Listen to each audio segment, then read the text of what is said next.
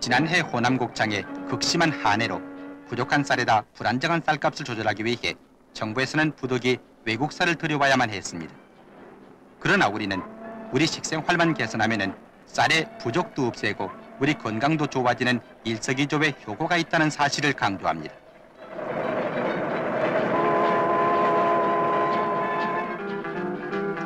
보리나 밀가루 등 혼식이 권장되고 있는데에도 나는 모르쇠로 나가는 국민이 있으니 한심한 일입니다.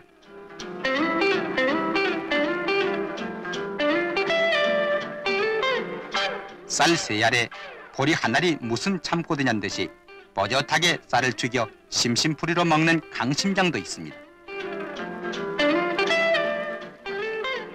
짐승에 먹이는 버릇들이기 나름인데 강아지야 주는 대로 먹겠지만은 이 집 주인의 생각 좀 고쳐야겠습니다.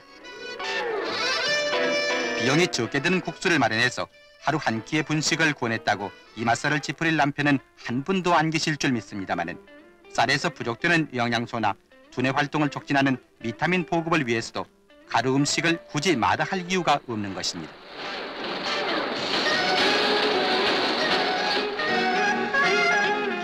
한편으로는 자신들의 건강을 보살피고 또 한편으로는 나라의 살림을 협조하게 되는 건전한 생활이 여기 있습니다.